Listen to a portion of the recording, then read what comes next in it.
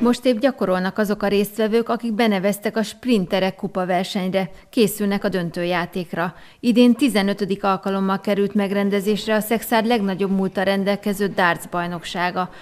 A tavalyi évben ugyan elmaradt, idén viszont újult erővel kezdtek bele a szervezők a rendezésbe. December 28-án 58 fővel rajtolt el a mezőny a Szexárdi Alibi sörözőben.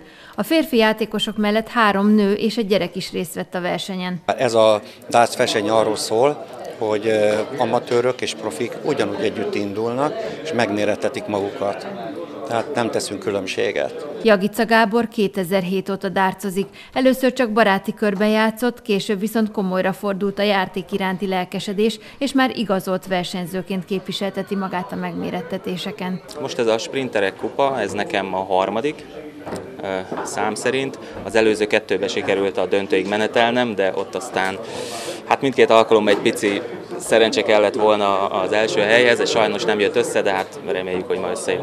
A döntő és a harmadik hely kijátszása a közönség előtt zajlott. A döntő nyertese Jagica Gábor lett, aki a dicsőségen túl egy trófeával és egy ajándékcsomaggal lett gazdagabb.